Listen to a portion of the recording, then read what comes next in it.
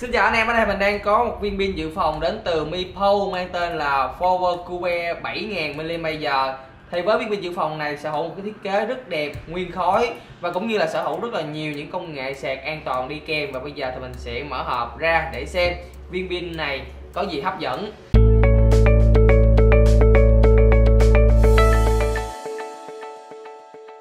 Đây chính là cái chiếc hộp của Power Cube 7000mm nó được đóng rất là đẹp và cũng như là sang trọng.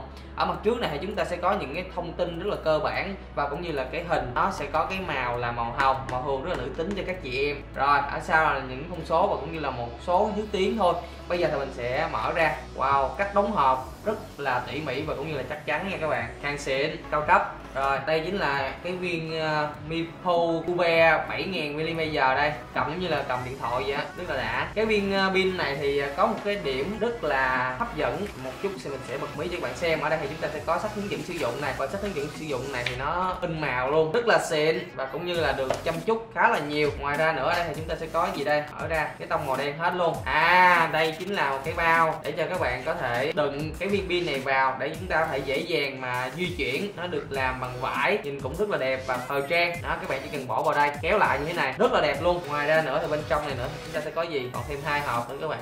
À ở đây nữa thì chúng ta sẽ có thêm một cái sạc không dây cho cái chiếc uh, pin dự phòng này. Các bạn chỉ cần đặt vào thì sẽ sạc luôn thì mình sẽ nói sao nó cũng được làm màu hồng luôn nhìn tông sạc tông lắm. Cuối cùng là gì đây? Thì xem khá là nhiều hộp. Mở đầu này không được mở đầu này luôn. À ở đây thì mình sẽ có một cái gọng cáp micro USB để cho các bạn có thể sạc cho những cái thiết bị khác và cũng như là sạc đầu vào. Cho cái viên pin dự phòng này bây giờ thì mình sẽ mở cái nó ra. Cảm giác đầu tiên khi mình cầm cái viên pin dự phòng đến từ Mipo này là rất là chắc chắn và có độ hoàn thiện rất là cao cấp. Nó sử dụng một cái thiết kế nguyên khối với cái chất liệu là aluminum. Ở mặt trước này thì chúng ta sẽ có cái dòng chữ là Mipo được làm cách điệu và cũng như là nổi bật với cái tông màu thường là chủ đạo này. Và cũng như là nó làm khá là đơn giản. Ở đây sẽ có tổng cộng là bốn cái đèn led để khi mà các bạn nhấn vào cái nút nguồn này thì nó sẽ hiển thị cái dung lượng đang còn trong pin là bao nhiêu. Ở mặt sau này thì các bạn sẽ có bốn cái chân bằng à, cao su để có thể à, các bạn đặt xuống bàn thì nó sẽ giữ vững nó không có bị chạy này. Và cũng như là ba cái chấu để các bạn có thể sạc không dây cho cái đế sạc này đặt vào thì sạc thôi. Rất là tiện lợi luôn. Ngoài ra nữa thì phía dưới này sẽ có những thông tin ví dụ như là cái pin pin này thì nó sẽ cho cái đầu ra là 5V và cũng như là 2,4 ampere. Đồng nghĩa với việc là pin pin này nó sẽ sạc nhanh và sẽ giúp cho cái thiết bị của bạn sạc nhanh hơn rất là nhiều. Dung lượng pin của nó là 7000 mAh thật sự thì cái thời lượng này không quá cao so với cái mức giá của nó mang lại là tầm khoảng 1,6 triệu đồng. Thì cái viên pin dự phòng này có gì đặc biệt ngoài cái thiết kế thì nó sẽ tích hợp sẵn luôn cho các bạn một cái sạc cáp lightning để các bạn có thể sạc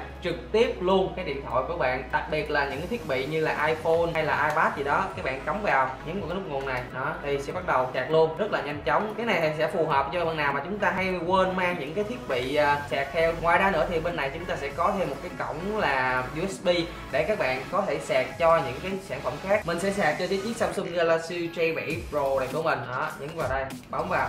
Rồi, các bạn thấy gì? Chưa là đang đang sạc đây, đang sạc 39 phần trăm. Rồi, trong khi đó thì mình vẫn có thể sạc luôn cho cái điện thoại của mình. Đó là chiếc à, iPhone 6 Plus. Đây hoàn toàn các bạn có thể sạc hai cái thiết bị cùng một lúc như thế này.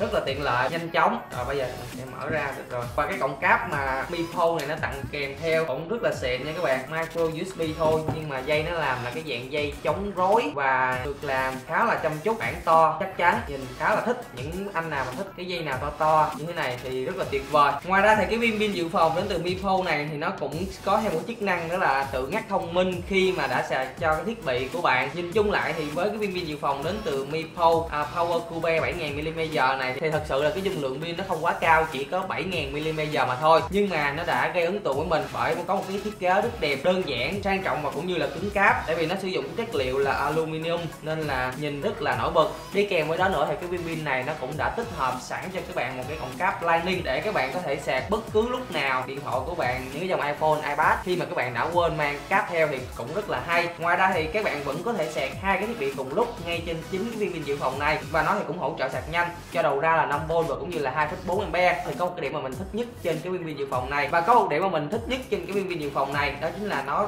có khả năng là sạc không dây luôn. Có nghĩa là từ đây về sau khi các bạn đi làm về các bạn chỉ cần để cục pin dự phòng này lên cái đáy sạc không dây này nó thì nó sẽ tự động sạc luôn. Đây là một cái điều mà thấy là những cái viên dự phòng khác thì nó vẫn chưa có cái điều này. Và đây được xem như là một cái điều khác biệt. Vậy thì theo các bạn thì với mức giá tầm khoảng 1,6 triệu đồng thì các bạn có lựa chọn cái chiếc Mipo Power Cube 7000 mAh này không? Hay là một sản phẩm nào khác?